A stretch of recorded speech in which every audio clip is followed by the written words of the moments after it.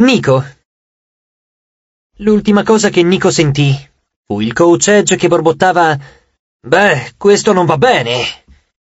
Si chiese cosa avesse fatto di sbagliato stavolta. Forse li aveva teletrasportati in un covo di ciclopi, o a qualche centinaio di metri sopra un altro vulcano. Ma non poteva farci niente. Non ci vedeva più. Anche gli altri sensi stavano andando in tilt.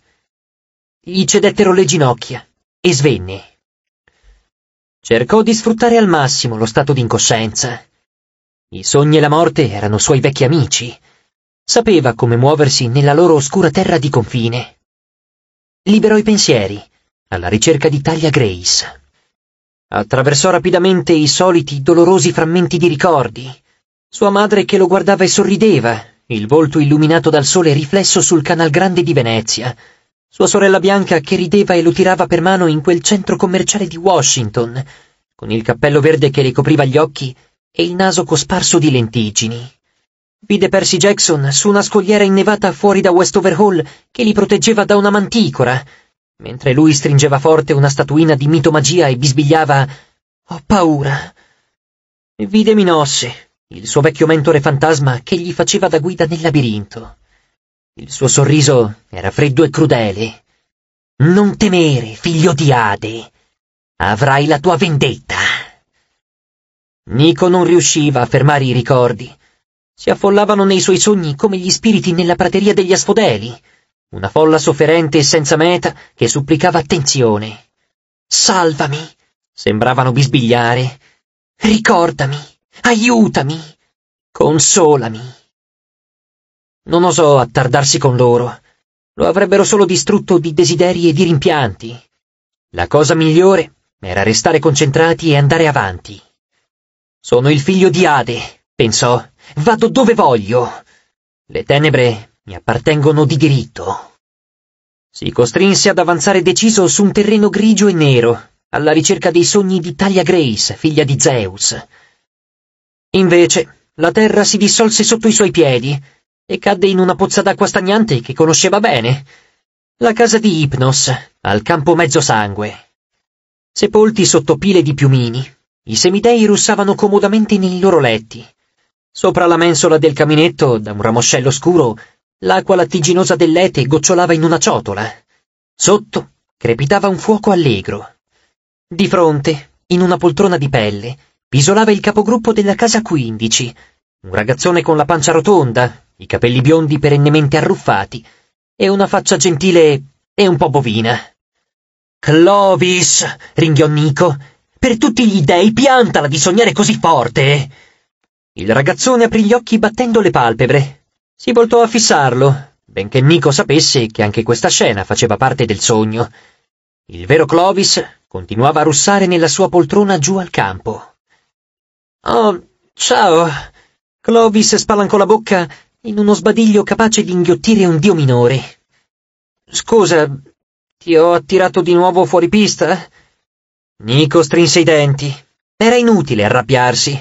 La casa di Hypnos era come la stazione centrale di New York, dal punto di vista dei sogni. Non si poteva andare da nessuna parte senza capitarci prima o poi. Già che ci sono, rispose, consegna un messaggio per me. Di a Chirone che sto arrivando con un paio di amici. Vi portiamo l'Atena Partenos. Clovis si strofinò gli occhi. Allora è vero. Ma come fate a trasportarla? Avete affittato un camion? Nico spiegò la faccenda il più brevemente possibile. I messaggi trasmessi via sogno tendevano a offuscarsi, soprattutto quando avevi a che fare con Clovis. Più erano semplici, meglio era. C'è un cacciatore che ci insegue, continuò Nico. Uno dei giganti di Gea, credo. Puoi portare questo messaggio a Talia Grace.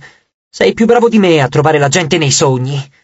Ho bisogno del suo consiglio. Ci proverò.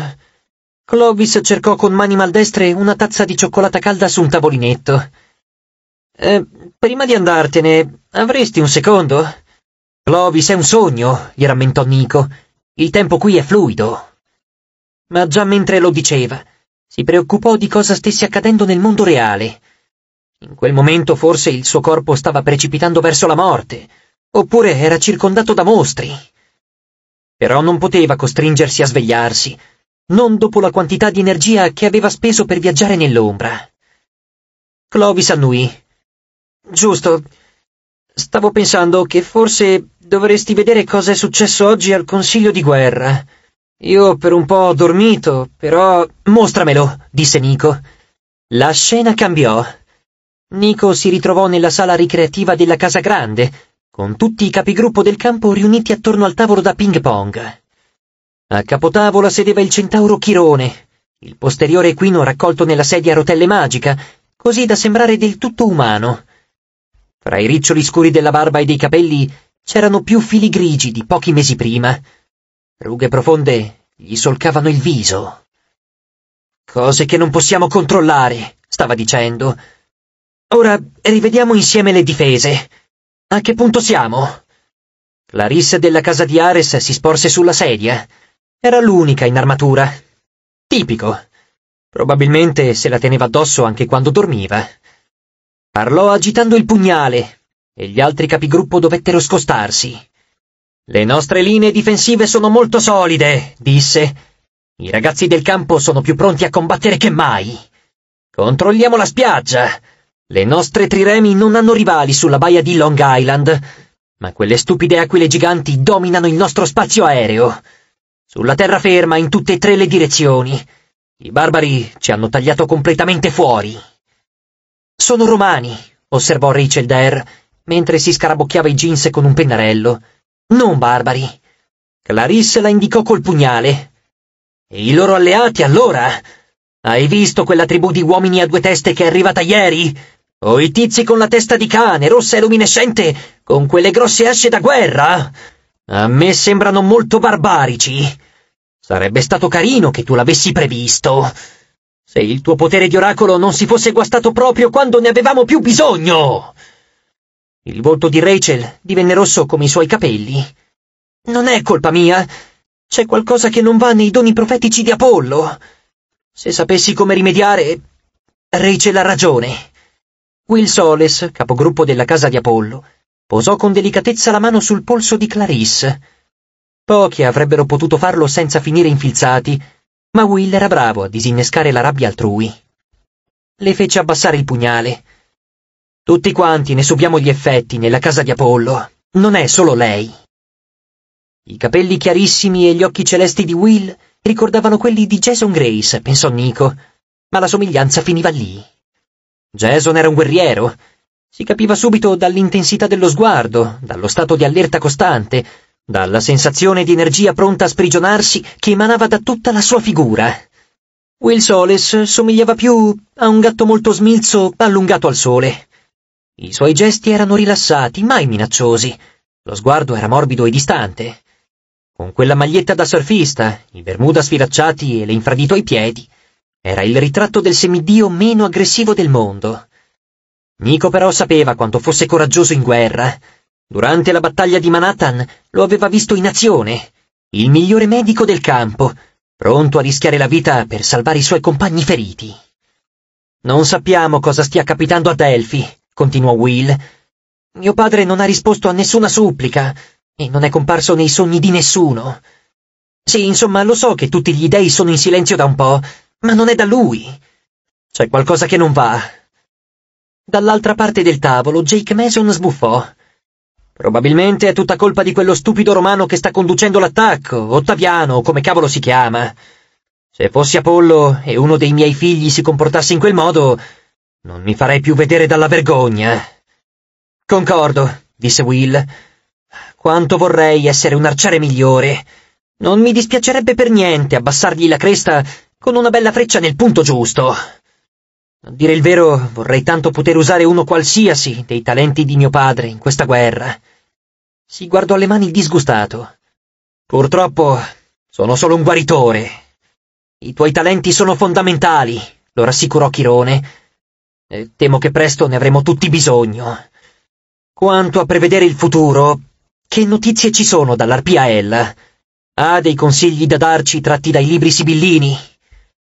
Rachel scosse la testa. La poverina è spaventata a morte. Le arpie detestano trovarsi imprigionate. E da quando i romani ci hanno circondato, Beh, si sente in trappola. Sa che Ottaviano ha intenzione di catturarla.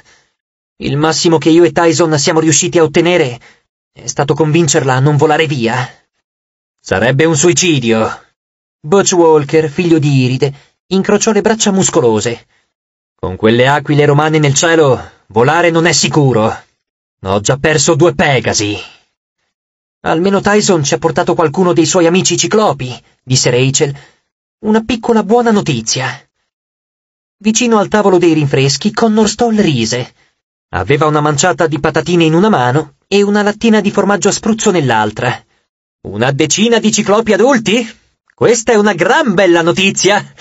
E poi Luellen e i figli di Ecate stanno innalzando delle barriere magiche e l'intera casa di Hermes ha cosparso le colline di trappole e trabocchetti pieni di sorpresine per i romani. Jake Mason si accigliò. Tutte cose che avete rubato dal bunker 9 e dalla casa di Efesto.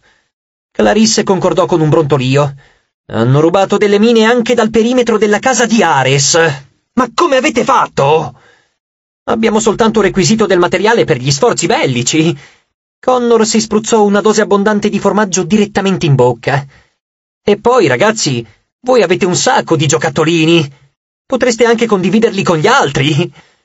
Chirone si voltò a destra, dove il satiro Grover Underwood sedeva in silenzio, giocherellando con il suo flauto. Grover, che notizie ci sono dagli spiriti della natura? Il satiro sospirò. Anche in tempi migliori è sempre stato difficile organizzare le ninfe e le driadi.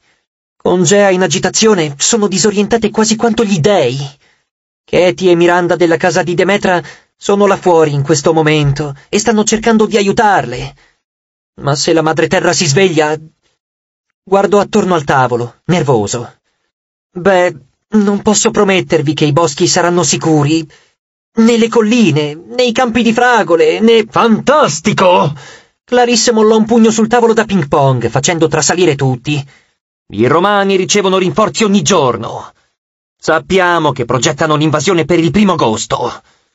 Perché dobbiamo permettere che siano loro a stabilire i tempi? Secondo me stanno temporeggiando solo per riunire più forze. Hanno già la superiorità numerica. Dovremmo attaccare subito, prima che diventino ancora più forti. Conduciamo noi la battaglia e nel loro accampamento! Malcolm, il vice di Annabeth per la casa di Atena, tossicchiò coprendosi la bocca col pugno. Clarisse, capisco le tue ragioni, ma hai studiato l'ingegneria romana. Il loro accampamento temporaneo ha difese migliori del campo mezzo sangue. Se li attacchiamo nella loro base, ci massacreranno. Perciò ce ne stiamo qui ad aspettare e basta? protestò Clarisse. Lasciamo tranquillamente che si preparino al meglio delle loro forze, mentre Gea è sempre più vicina al risveglio. La moglie del coach è già incinta ed è sotto la mia protezione. Non permetterò che le succeda qualcosa. Edge mi ha salvato la vita. E poi, ho allenato i ragazzi del campo più di quanto abbia fatto tu, Malcolm. E hanno il morale sotto le scarpe. Sono tutti spaventati. Se restiamo sotto assedio per altri nove giorni, dobbiamo tenerci al piano di Annabeth. Connor Stoll sembrava più serio di quanto fosse mai stato, nonostante la bocca sporca di formaggio. Dobbiamo resistere finché non riporteranno qui la statua di Atena. Clarissa alzò gli occhi al cielo. Vuoi dire finché quel pretore romano non riporta qui quella statua? Non capisco come Annabeth abbia potuto pensare di collaborare con il nemico. E ammesso che quella romana riesca a consegnarci la statua, il che è impossibile, dovremmo fidarci del fatto che questo basti a portare la pace. La statua arriva e all'improvviso tutti i romani abbassano le armi e cominciano a ballare e a lanciare fiori. Rachel posò il pennarello sul tavolo. Annabeth sa quello che sta facendo. Dobbiamo cercare la pace. Se non riusciamo a unire greci e romani, gli dei non guariranno. E se gli dei non guariscono, è impossibile uccidere i giganti. E se non uccidiamo i giganti, Gea si sveglierà, concluse Connor. E tanti saluti a tutti. Ascolta, Clarisse. Annabeth mi ha mandato un messaggio dal Tartaro, dal Tartaro, te ne rendi conto? E chiunque riesca a fare una cosa del genere. Beh, io lo ascolto. Clarisse aprì la bocca per replicare Ma quando parlò, fu con la voce del coach Edge. Nico, svegliati! Abbiamo dei problemi!